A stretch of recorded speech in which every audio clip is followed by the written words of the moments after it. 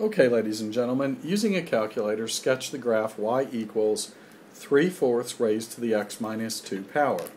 Now, this is basically an exponential function that's been shifted.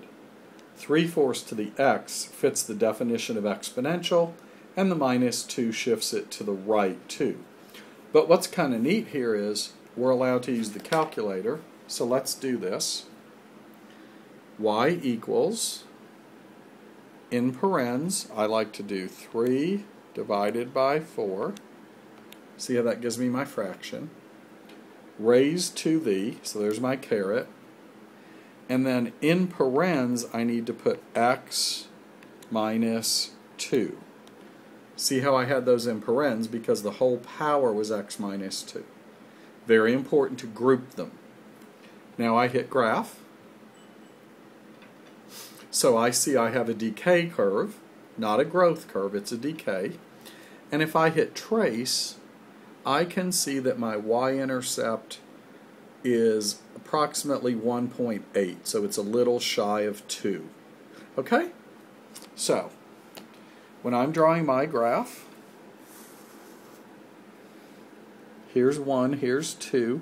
My y-intercept is a little shy of 2 the graph is coming in like this, and here it's asymptotic. When I draw my broken line here to indicate an asymptote, this is the line whose equation is y equals 0.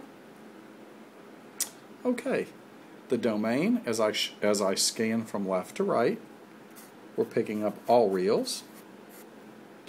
The range, as I scan from bottom to top, it would be from 0 to infinity, not including 0, of course, because it's an asymptote occurring there. The equation of the horizontal asymptote, y equals 0. So the graphing calculator made a real nice uh, graph for us. Okay, two comments. One, the y-intercept is always good to show, and remember I, I found that by hitting the trace key. I could have also looked in the table. And the second comment, sometimes on the final exam they have you do a graph and then they ask you for a list of ordered pairs that would be on the graph. If this was on the exam and they said now list some ordered pairs on the graph, I would just go to second function table and look at this. I have a ton of choices. You see what I'm saying?